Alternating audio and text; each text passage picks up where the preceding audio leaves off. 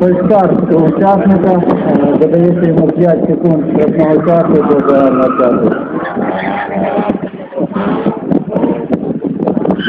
Зараз ми який в буде результат. На жаль, до загального результату буде додано 5 секунд.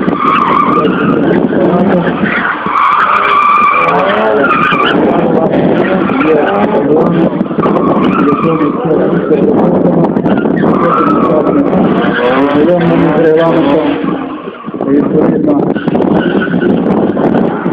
якщо учасник помилився, то добре платить додатковим страшним часом.